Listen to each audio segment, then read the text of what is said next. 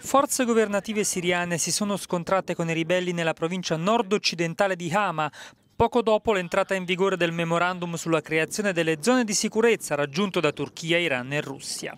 Tali zone, volte ad evitare incidenti e scontri diretti tra le parti in conflitto, verranno chiuse ai caccia statunitensi e ai paesi appartenenti alla coalizione internazionale contro lo Stato islamico.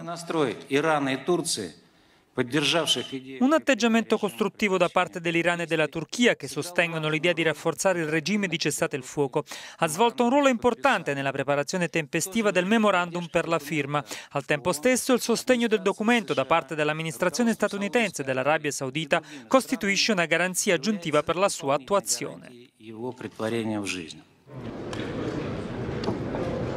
L'accordo prevede inoltre la presenza di osservatori provenienti da alcuni paesi esteri, tra cui la Giordania. Dal canto proprio, la Russia, tramite il vice ministro degli esteri, Bogdanov, ha reso noto di aspettarsi che la Turchia incoraggi l'opposizione siriana ad aderire al referendum.